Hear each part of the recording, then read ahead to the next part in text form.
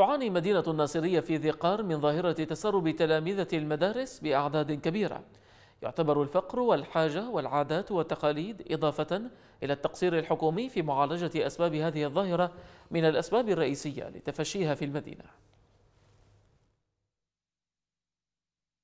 يكون هنالك ملاحقة ومتابعة من قبل الجهات المعنية، الجهات التعليمية، الجهات التربوية، الجهات الثقافية من خلال عقد الندوات التثقيفية، من خلال عقد المؤتمرات، من خلال اللقاءات المباشرة مع العوائل، مع الناس البسطاء الذين لا لا يولون هذا الموضوع أهمية. ارتفاع مستوى الجريمة،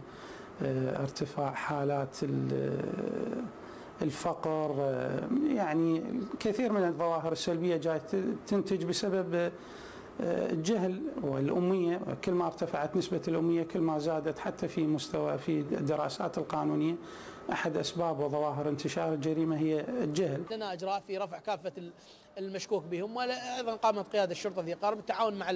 آه، شرطة الأحداث بإجراءات آه، رادعة فيما يخص هذا الجانب. الا أنه هذه الإجراءات لا ترتقي إلى مستوى حجم المشكلة، المشكلة كبيرة ويحتاج تدخل كبير، بالتالي نطالب يعني آه، في حالة توفر المشاريع وكثرة الموارد الاقتصادية سوف